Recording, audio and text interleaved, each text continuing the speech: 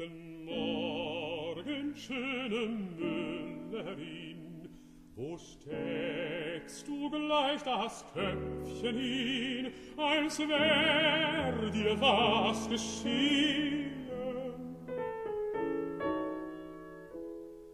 Verdrießt dich denn mein Gruß so schwer,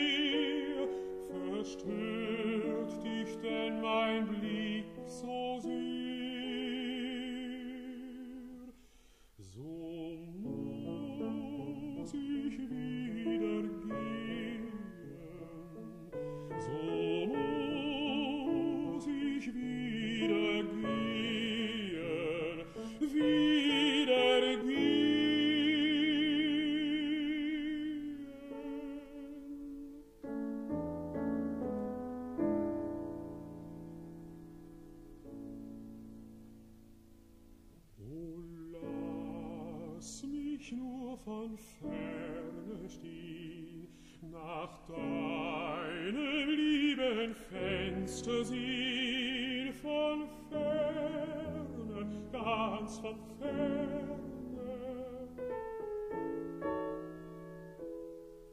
Du blondes Köpfchen, komm hervor, hervor aus eurem runden Tor.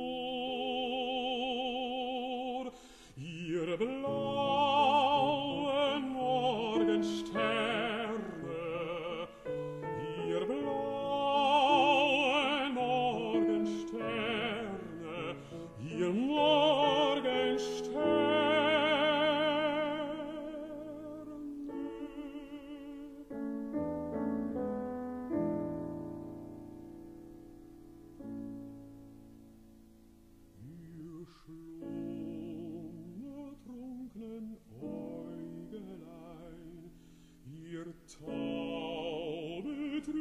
Blümelein, was scheuet ihr die Sonne?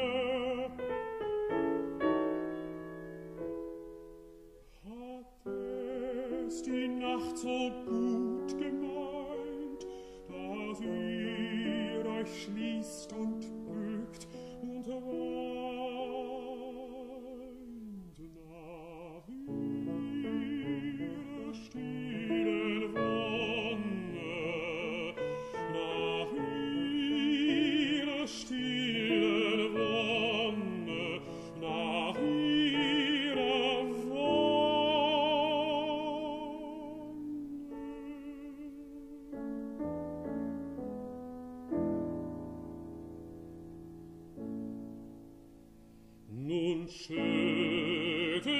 gab der Träume Flor und hebt euch frisch und frei empor in Gottes hellen Morgen.